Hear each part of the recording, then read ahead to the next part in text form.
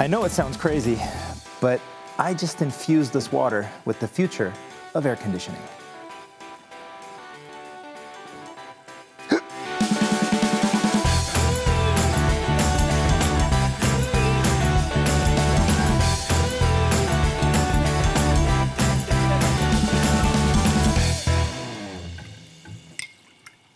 Now, these bubbles are what soft drink dreams are made of. And they're also responsible for that fizzy and sparkling effect that makes certain drinks refreshing and tasty. And they also cause hiccups. But did you know that you can also use this in air conditioning systems? Hmm. Let's find out with the help of our expert here today. He is the head of research and development for air conditioning at ContiTech. So please welcome Dominik Kempf. Dominik, great to have you. Thank you for having me. Tell me, will I get hiccups from using the air conditioning? No, obviously not. No. Actually, what we see in your bubbles is CO2 as a natural gas, a natural fluid, and that can be used as refrigerant fluid. But wait a minute, isn't CO2 something we actually want to get rid of? Well, technically you are right there, but in this specific case, the CO2 we use is a waste product of all the major industry, which obviously is then, you know, not needed, and we put that in the system. All right. You remember the 80s?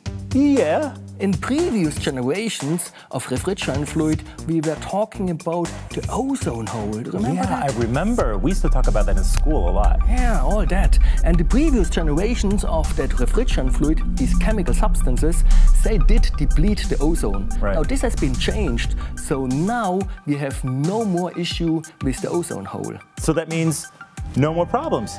Almost. Well, in this specific case, if this new refrigerant fluid comes to flame, and it's a flammable refrigerant fluid, mm -hmm. unfortunately, mm -hmm. it produces hydrofluoric acid. Wow, is that as dangerous as it sounds? It is actually one of the most dangerous substances that we know on our planet. I can show you. Show? Yeah. Experiments? I love this. Chris, no. I love your excitement, but this is way too dangerous. We could never ever do this here on such an environment. But can I leave this on? Looking good, so, okay. Okay, so what are we gonna do? Well, let me show you what we have. Thank you.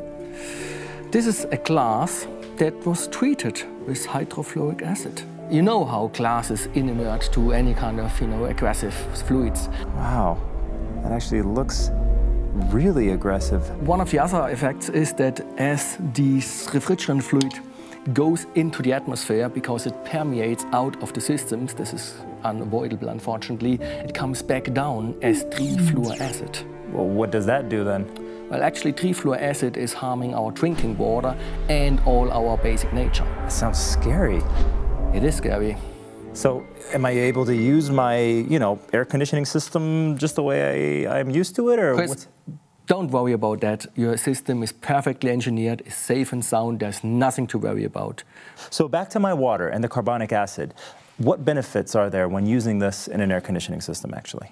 Well, as you use the air conditioning system in the summer, there is the same efficiency of this natural refrigerant fluid versus chemical refrigerant fluid. Okay. This is the best part about CO2, because CO2 does work in the reverse mode of an air conditioning system. We change it and call it a heat pump.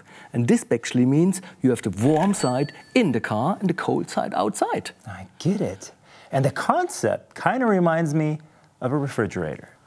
Exactly right, Chris. Perfect engineering thinking. This is what we have here, a fridge. Inside okay. cold, outside this is where we measure the temperature. And look at this. That is pretty warm. It is pretty warm. Compared to the room temperature anyway. Exactly. And this is the benefit that you use out of the CO2 air conditioning system when you reverse it in heat pump. It is really the great opportunity for all the electric vehicles that we see in the future to improve their driving range in the winter. When you have in the winter normally all your energy consumption in the motor, of course, but also in the heating of passenger and battery, mm -hmm. you can use that heat pump system and have a much, much higher efficiency. This basically means my electric car goes much further in the winter than your car. But my car still looks good in the summertime, come on. Well, it does. But this is the product that we talk about. This is it? Yes. So simple? Well, might look simple. The details on the inside and you can imagine the engineering makes the difference. I can imagine. And you know, no matter if you're using CO2 in highly complex products and components like that, or for your drinks, there's one thing we can agree on. The future is sparkling. And there's one more thing we need to do, Dominik. And that is, you know what's coming, right? Yep. A nice picture. One, two, three. Cheese. I'd like to thank you very much, Dominik, for being here today with us. Great, thank you. I'd like to thank you for watching and be sure to tune in again next time for the next episode of The Garage. Until then, stay safe and see you then.